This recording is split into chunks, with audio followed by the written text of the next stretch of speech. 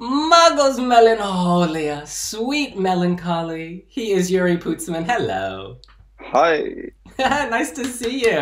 Yeah, it's nice to see you too. I think it's been like five years since we, or six years. You know, we were in Tel Aviv, I remember. That's right. So, yeah. We were exercising yeah. on those yes, bikes. Yes, I think this was the last time I actually exercised as well. you were very good at keeping your posture. You were like full on. Yes. Yes. you know, I have to. My mom always tells me that I can't. You know, like. Yeah. Uh, okay. Thank you, Mama. she taught you well.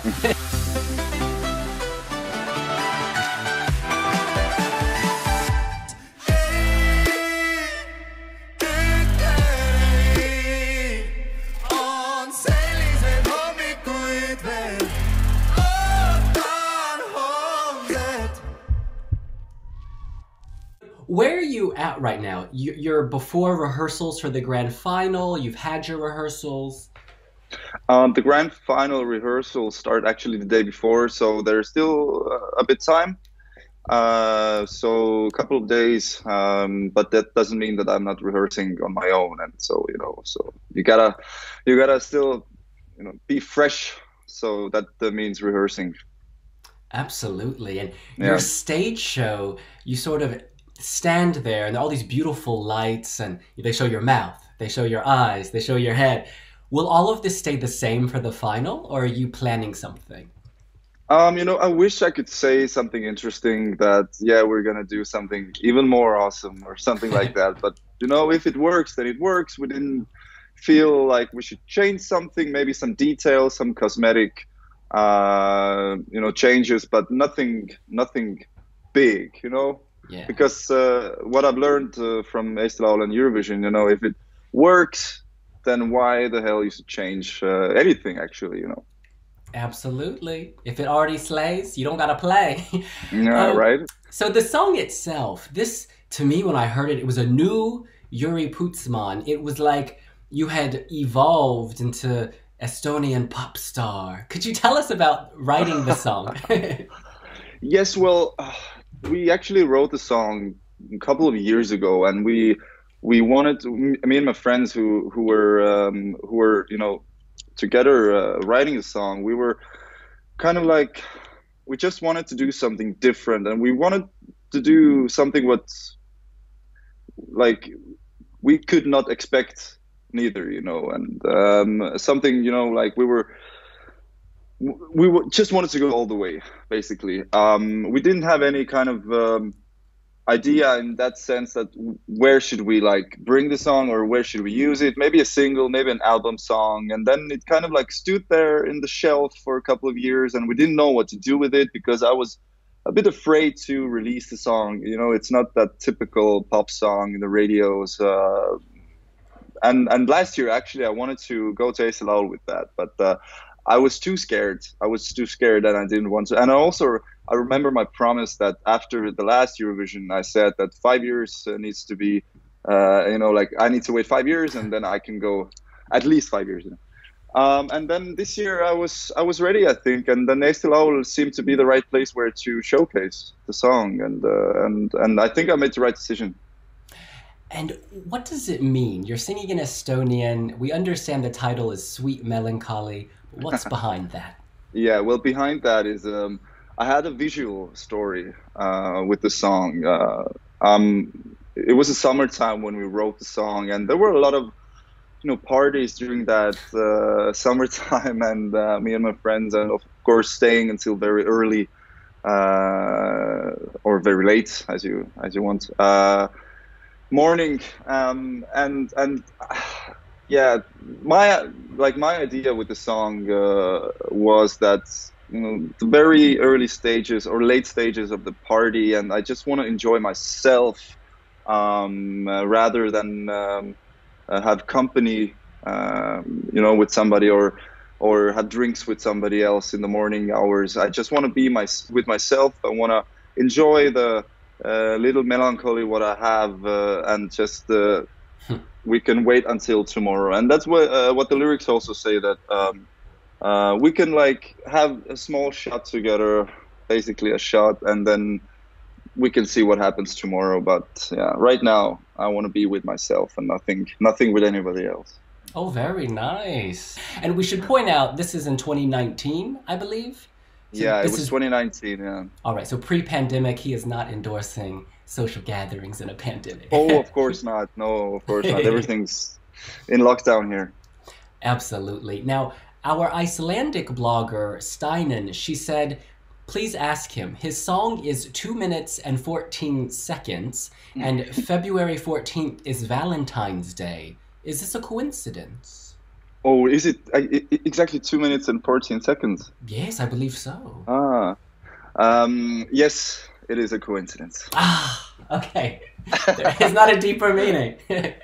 yeah, no, we actually just, you know, we got to say everything we wanted to say with the length we have and, and with the lyrics we have. And we tried to make it longer, but it just didn't work. Uh, and, and, and I think it's, it's okay to have such a short song. We we said everything we wanted with the song. So.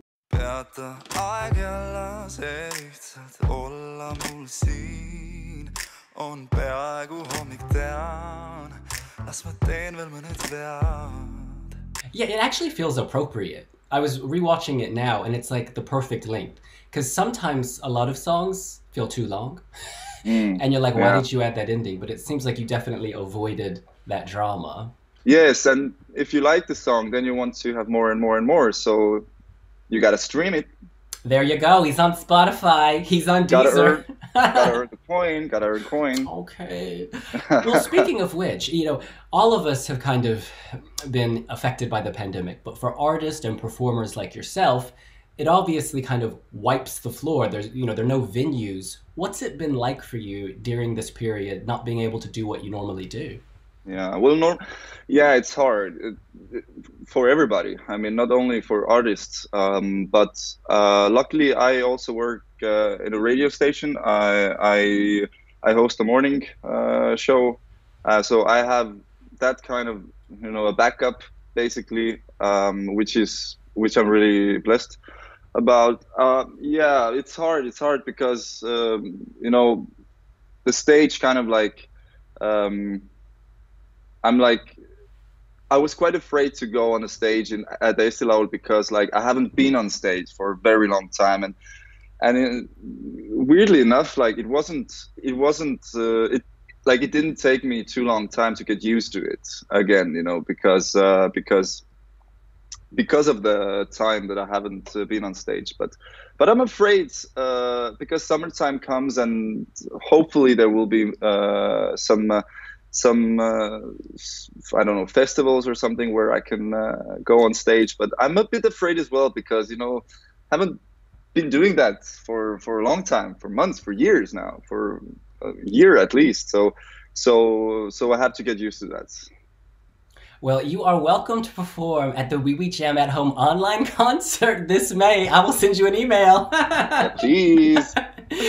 And now we have more questions about your song. People say that high note.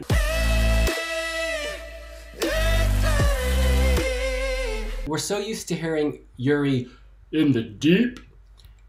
On that high note in the song, how much of that is your backing vocalist and how much of that is you? Um, everything uh, what was uh, what's on the studio version, it's me. Uh, there's no backup singers used. And on stage I have uh, background singers, yeah, but I'm I'm also singing the high notes there myself, oh, wow. but not the first chorus, the second chorus, the ending chorus, the last chorus. I mean, uh, so so that's me and also backup. Is it painful? No, if you do it with the right technique. Oh, okay. I must say it was it was quite cool to hear because you know I remember from play, don't hit play, yeah.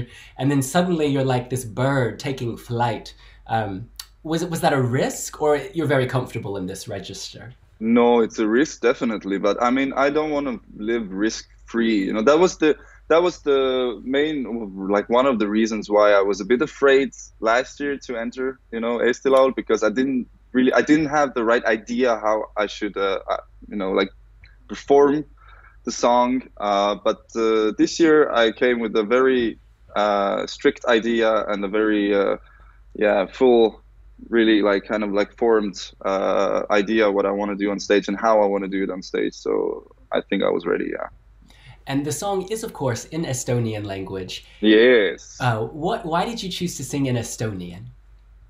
Well, as I said, you know, when we wrote the song, I didn't know what to do with it, so I didn't plan it to to enter Eesti with the song. But um, I feel like it's it's nicer to sing in Estonian to kind of because the aim is still Estonian public, you know, um, and um, I feel like I get more connected when I sing it uh, in Estonian with the Estonian mm-hmm. public. But also, I've heard that the you know people from other countries they say that Estonian is a beautiful language, and it's also nice to kind of show our small culture with that. Absolutely. Birgit Õigemeel, Eurovision 2013. Yes. Love that. Oit Oh, yes, of course. Yes. And also um, uh, 2000 and I think nine, there was Sandra uh, with Estonian. Uh, I think she also got a good place. So. I think we have a good uh, good thing with Estonian language in Eurovision. So. Yes, you are a true Eurovision fan. You're just spitting the names of. Yes. yes. Oh, yes. I've seen it. I've seen it a couple of times. I'm always happy when I go through, I look at the Wiwibloggs' Instagram stories and it shows you the heads of the people who have seen your post. And I often see Jüri and I'm like, woohoo! Yes, yes, yes. I started following you. Yeah, it's interesting to see what you're up to. Very kind. Now, look, if you win Eesti Laul, which is a definite possibility, will the song stay in Estonian for Eurovision? Well, if it goes uh, like that, yes, uh, well, definitely Estonian. Yeah, I'm. I don't plan to change it. I haven't thought about it to be honest, uh, but I don't feel like it's necessary. Mm. And this competition is no joke. I mean, you've got Uku Suviste, you've got Koit Toome, I can't say these names. you have lots of big names with good songs. What's the atmosphere like among the contestants? Are you all very buddy buddy? Um, is there tension? I mean, for me, uh, I can only speak for myself. For me, there's no tension, uh, and I couldn't even see it from anybody else, um, especially from you know the artists who have been there. I think there was tension within you know the the artists who haven't uh, kind of like had the opportunity to be on uh, that Eesti stage, and it was kind of like this nervous for the performance, but uh, not between artists. I think there's no tension. We were hanging out uh, as much as we could uh, during the uh, pandemics, you know, like behind the stage and everything. but um, it was a rather very very nice atmosphere, and I can't look or like I'm looking forward uh, for Saturday already. yeah. Oh yes, this question comes up a lot among our team. They're curious: Are you approaching Eesti Laul this year differently than you did in 2016? Yeah, definitely. Um, first of all, you know, the last time I was there, it was I was kind of on a roll. I I just won uh, I just won the Idol and then I had uh, some good singles, and then it was kind of like this very a natural move for me to try Eesti Laul, and uh, yeah, I was I had a like a really um, um, big team and a lot of opinions. Um, I was also um, I was also quite in my head a bit, I would say, uh, in that sense, um, a bit tight Mm. Uh, but uh, this year, I don't feel any change in. Uh, you know, my motto for this year would be like, um, like lower ex- uh, expectations and high standards. I think this is the right way how to how to go. And I just really want to go, uh, do a good performance, and I have a I have really lovely people around me uh, who support me, and and and the atmosphere is really good. Yeah, and it's also nice to sing because it Mm. There hasn't been any gigs, you know, and and I'm just enjoying holding the microphone, for example. Mm. This is small things, small things. It's interesting to hear this because watching the semi-final performance, you do look more at ease, more confident, more. Obviously, you're older now as well, but you seem much more just in control of everything. It's like you're the puppet master. Yeah, that's nice to hear. Nice to hear. And also, you know, the song is uh, like I'm one of the authors, uh, so I feel ah. already that connection, you know, to the song. So. Oh yeah, you have a music video as well for the song. Mm. It's very atmospheric. I remember orangey brown, bronze yeah. coloring. Uh, I guess with that and with your staging, what atmosphere are you trying to create visually with the song? Well, this kind of mysterious, I think. I really want it to be, as you said, you know, visually uh, this appealing. Uh, there's no storyline in the video, and that's uh, what I wanted. Um, and uh, and the staging on Eesti Laul uh, is also inspired from the video, uh, and and I think I want to give this mysterious, mysterious uh, vibe with it, uh, this sexy vibe. Uh, not just uh, showing much, you know, like uh, this. Yeah, I think it's it's okay. I'm fine with that. Holding back, tantalizing, teasing. I totally. Yeah, teasing. Yeah, teasing. That's a nice word. That's a nice word. Well, you know, I'm so impressed with your English, but I was reading that you studied in Denmark when you yeah, young, you speak Danish as well. Yeah, well, I'm a bit rusty now. I was uh, 10 years ago when I was in Denmark in high school. Yeah. So the Danish uh, language is uh, still in me, but I need to I need to kind of remember it when it uh, comes uh, down to, you know, talking. Do you watch the Danish Eurovision show? No, no, ah, no. Okay. Um, uh, but you can update me on that later. Absolutely. Check your inbox. yes. Now, Jüri, this journey, you know, Eesti Laul final on Saturday, it's almost here. You went from being not so confident to now being out there. Primetime TV. He is back. What is your message for everyone watching this weekend? Well, first of all, I'm I'm happy that there are people watching uh, from out, outside Estonia because I know that a lot of people do watch that and they're fans uh, of the show.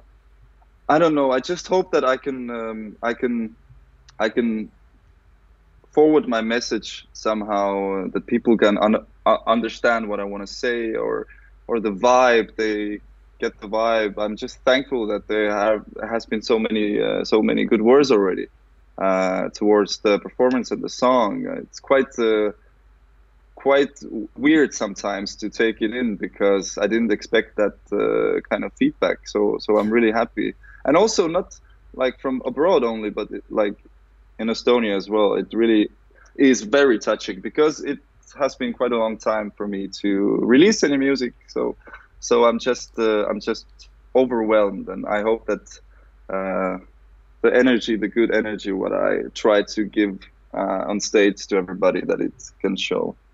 Ah, oh, melancholy has never been so sweet. Thank you so much for sharing your message and the personal history with us, Jüri. You are a star, and we can't wait to see how you do on Saturday. Thank you so much.